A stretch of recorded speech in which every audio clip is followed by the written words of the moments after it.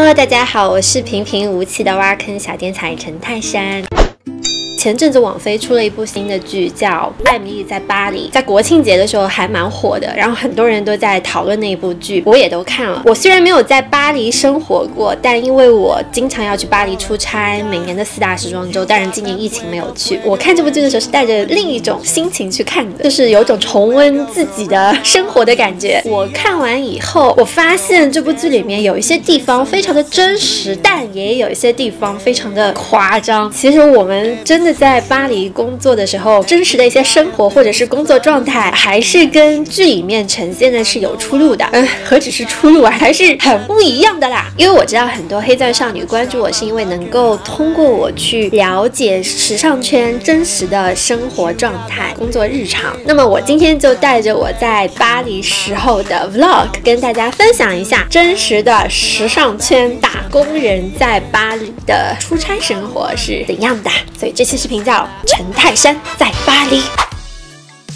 首先，这里的艾米丽有一个非常 bug 的设定，就是自从来到了巴黎以后，艳遇不断。住在你楼上的小哥哥啊，工作里遇到的帅大叔啊，就是有无数很帅、很帅、很有品的小哥哥出现在你的生活周围。OK，我在巴黎出差的这些年，我可以很负责任的告诉你，我真的没有遇到过任何帅哥艳遇，没有。对，所以我是一个没有女主光环的人。去年的巴黎时装周，我是和我们的摄影师小姐姐一起去的巴黎。有一天晚上，摄影师小姐就突发奇想，打开了欧洲版的陌陌，然后她就说想要来抽样调查一下，就是法国男生的颜值到底水平怎么样。如果你们看到觉得帅的，扣个一。感觉像妈宝男、精英小哥、西瓜小哥、西瓜小哥，这个算长得好看。对的，在法国算好看的。哎，真的好多大胡子的脸都。嘿。 음. 에이. 에이. 에이. 哎，就这样吧。法国清爽小哥真的蛮难找的。这里一定要澄清一件事情，我们真的只是为了好玩，为了拍 vlog 去下载这个 app。是我们好像拍这个视频的时候是凌晨法国时间的凌晨两点拍的，我们只能睡三小时，然后五点就起来工作了。因为我们跟国内是有时差的，所以我们要早上五点就起来跟国内的团队进行工作的交接和 control。所以我们其实没有你们想象的那样，就是我在说什么？嗯。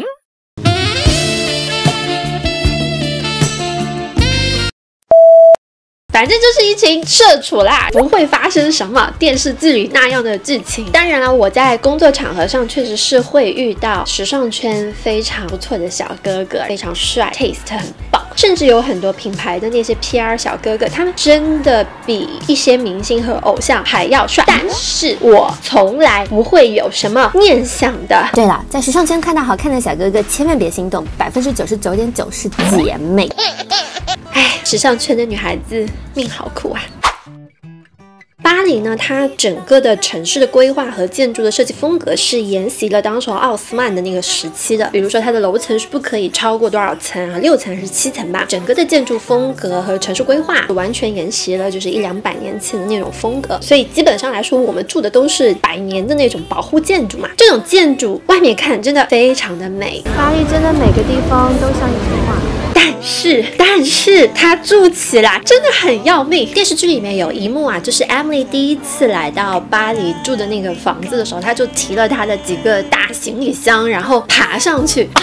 天呐，就是这个画面太有即视感了。有很多那个老房子是没有电梯的，没有电梯的，所以你得自己骑着那个超重的行李箱，然后自己一路搬到五楼或六楼。千万不要住的太高，这是我的血泪史。你知道我们去巴黎，真的那个箱子是满满当当的，里面放了很多很多很多的时尚单品，就是自己搬，真的啊，很要命。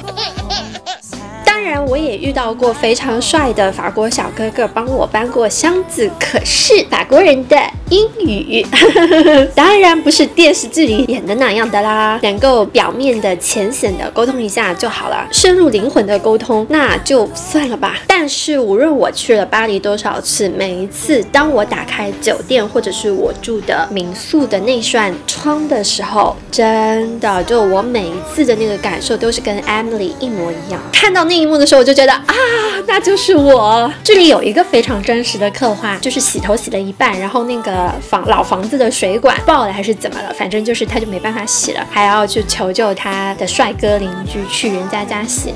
我也挺想拥有这样的艳遇的，but 没有。我有一年去出差的时候，我住的是那个 Opera，就巴黎大剧院隔壁的洲际酒店。那个洲际酒店建筑也非常的美，然后住进去的感觉也非常的棒。可是，可是，可是，可是，它的淋浴间。非常的小，马桶也都是那种老式马桶。我洗头发的时候，我惊了，龙头那个水量也太小了吧！真的，我都不怎么敢洗头发，水特别小，所以我就会带盆盆粉。这个就是我的盆盆粉，或者就是去药妆店里买这种免洗喷雾，随便一喷，就头发就像刚洗完一样蓬松，没有油腻感，清爽女孩立刻 get。Emily 她上班的地方也是一个法式的老房子，位于巴黎的市中心啊。我之前有拍过一条短短的 vlog，是去那个 Chloe 的巴黎总部，一个非常知名的 fashion house，带大家看一圈这边的 rooftop 的景色，是不是很美？很多的办公室真的都是这样的，在一幢那种百年的奥斯曼式的建筑里面。剧里面有说呢，就法国人，然后每天都是十点半、十一点才开始工作。但传媒圈、广告圈，你不管是哪个国家的创意人、媒体人，基本上都是十点、十一点上班的。但是我们下班非常的晚，可能晚上十二点还在工作，甚至晚上十二点才是我们一天里面状态最好的时候。但是剧里面那些外国人，他们四五点钟就下班了啊。我看到那个 Emily 拿着硬币在那边数数数数数，然后买早餐的时候，我就觉得啊，仪式感啊！我也是，我去巴黎的时候，每次就是有一个小塑料袋装的那个一大把的那个硬币，像一个老干部一样。我现在每次去巴黎住，第一件事情就是去看一下酒店附近有没有非常棒的面包店。巴黎的很多的甜点呢是非常的吸引人的，特别是很吸引女生。我是非常喜欢吃那个指头泡芙的。还有个设定，就是他来到巴黎以后，他就开始记录自己的巴黎生活，然后变成了一个生活博主。可是他涨粉也太轻松了吧？哪有这么容易涨粉？我们为了涨粉，联系多少的品牌合作，尽量争取多少明星的拍摄，为了好的选题，绞尽脑汁。如果你的选题跟别人撞了，但是人家又发的比你早的时候，那个时候你就是又恨又急。所以涨粉其实很难，哪有那么简单？看看就好了。这毕竟是一部轻喜剧。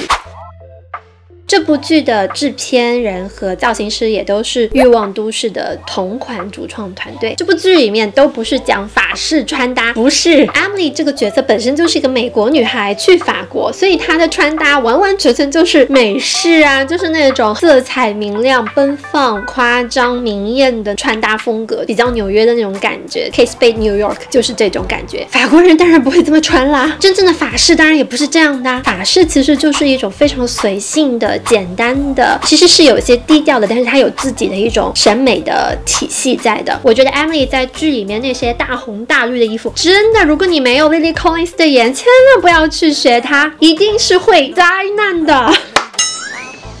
其实相比女主角，我可能更喜欢那个金发小姐姐，那个女二号，她的穿搭不但很法式，而且更加贴近我们 fashion 圈。剧里面给你安利了无数双好看的大牌高跟鞋，都是细高跟。但是巴黎的那个十字路，你怎么用细高跟走？就是你的跟会陷在那个十字缝的那个泥地里的啊，这个就很可怕。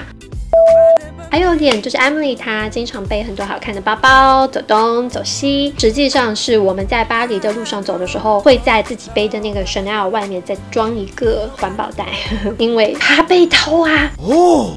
好啦，这个就是我想跟大家分享的时尚圈打工人在巴黎的日常。如果你们有没有什么想要了解关于创业啦、关于时尚圈的啦，想要了解的东西，都可以留言给我。十万粉的时候，我就一直还没有想好怎么来庆祝一下，做一个内容，所以我就想说哪天就做一条 Q&A 吧。今天的视频就到这里啦，拜拜。